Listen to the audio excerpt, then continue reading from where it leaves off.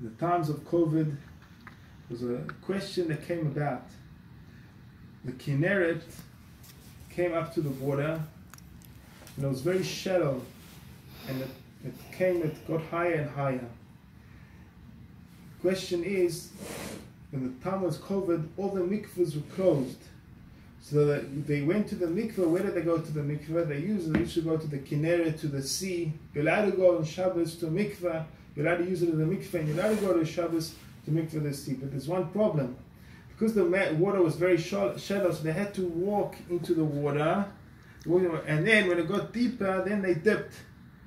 When they came back, so they were carrying the water on them. There's a halacha that one's not allowed to walk more than four amos with water on your body.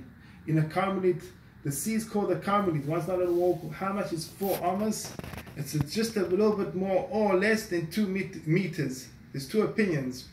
The question is, how do those people that there wasn't a mikveh, they went to go thing, but they're carrying water.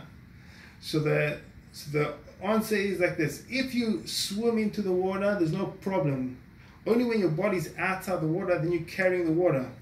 Or if a person, for example, goes into a, a puddle, walks into a puddle of water, and he walks into a puddle of water, so he's because whatever's in the water, that's what he's carrying. Anything that's outside, he's not carrying the water outside. So one's allowed to walk or swim in the water with with a wet body. The only question is when you stand up and you're walking in shadowed water, so then that's the problem with walking. So they say, they said, you must come closest, that you mustn't be more than two meters away from the, the um, beach. So that way you won't have to carry the water.